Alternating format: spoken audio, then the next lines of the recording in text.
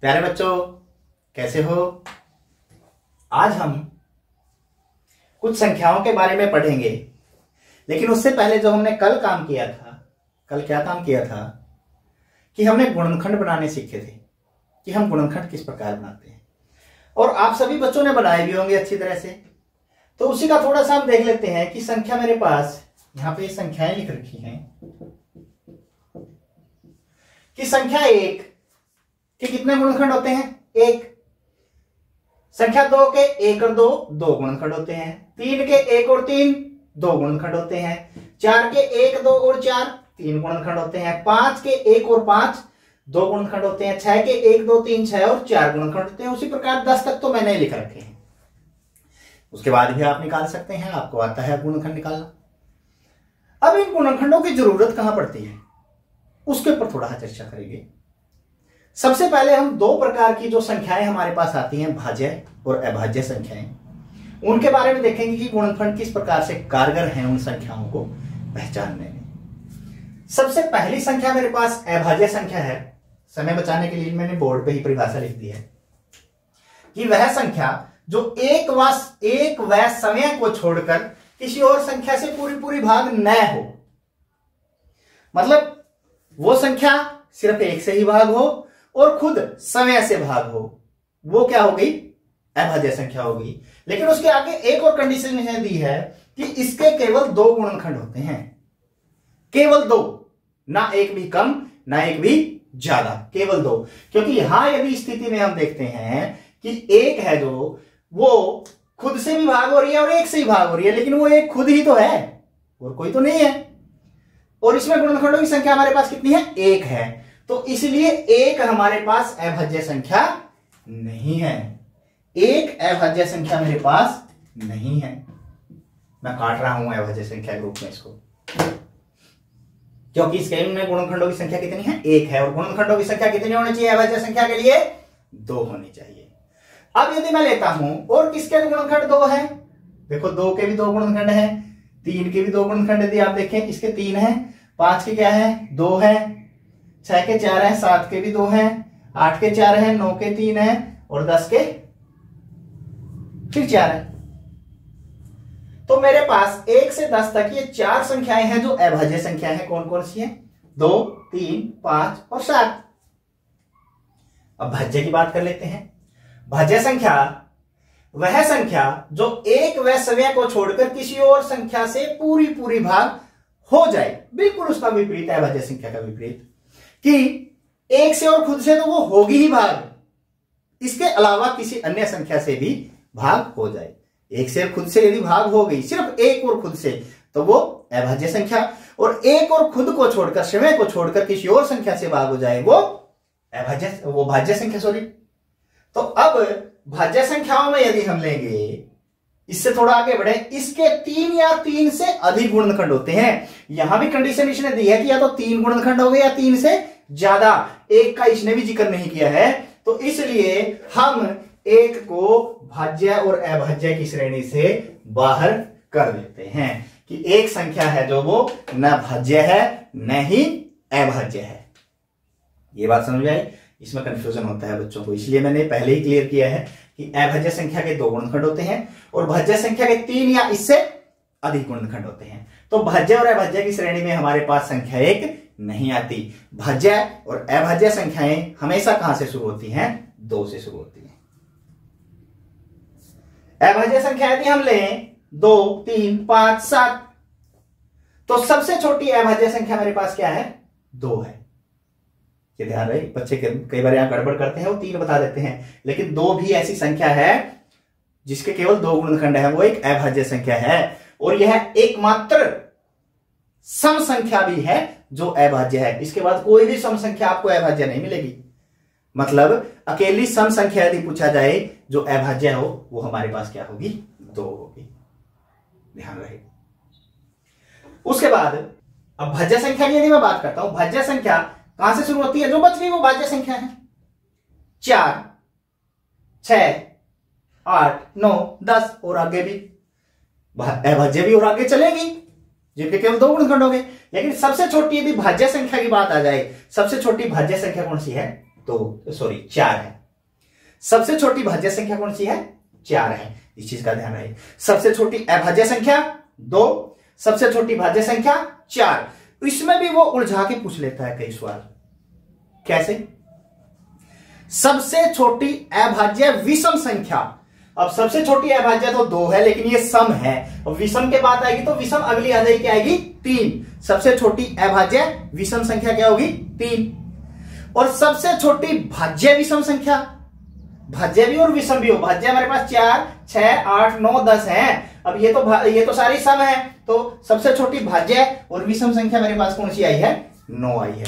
हमेशा उलझ उलझ में ही हमारे पास सवाल आएँगे और उनको ध्यान से आपको देखना है। यदि आपको एक कॉन्सेप्ट क्लियर है कि अभाज्य संख्या और भाज्य संख्या कहते किसे हैं तो आप, और सम संख्या और विषम संख्या किसे कहते हैं तो आप इन सवालों में नहीं उलझेंगे। थोड़ा सा ध्यान से दिमाग लगा के देखें कि प्रश्न पूछने वाला क्या पूछ रहा है। और उसी की परिभाषा के अनुसार यदि हम करेंगे तो हमारा सवाल बहुत ही जल्दी निकलेगा और सही निकलेगा। इस चीज़ का ध्यान रखें। अब मैंने भाज्य और अभाज्य संख्याओं को क्रमबद्ध कर दिया कुछ संख्याओं को। जैसे अभाज्य संख्या दो, तीन, पाँच, सात, ग्यारह, तेरह, सत्रह, उन्नीस, तेईस, उनतीस, इकतीस, सैंतीस इत्यादि जिनके केवल दो गुणनखंड हैं, केवल दो।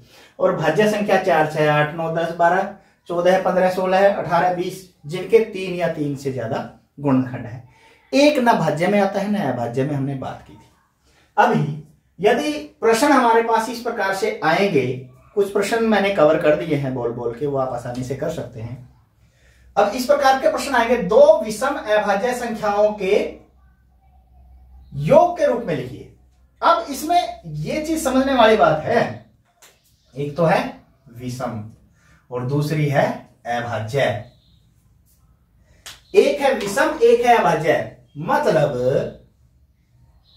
विषम भी होनी चाहिए और अभाज्य भी दो के जोड़ के रूप में चौवालीस को हम किस प्रकार ले सकते हैं? जैसे चौवालीस के लिए हमारे पास इकतीस और तेरह देखो, इकतीस जमा तेरह दोनों विषम है और अभाज्य है। सिर्फ़ इन्हीं में से छांटना है। मोस्टली हमें इनकी ज़रूरत पड़ेगी। इनकी कम पड़ेगी।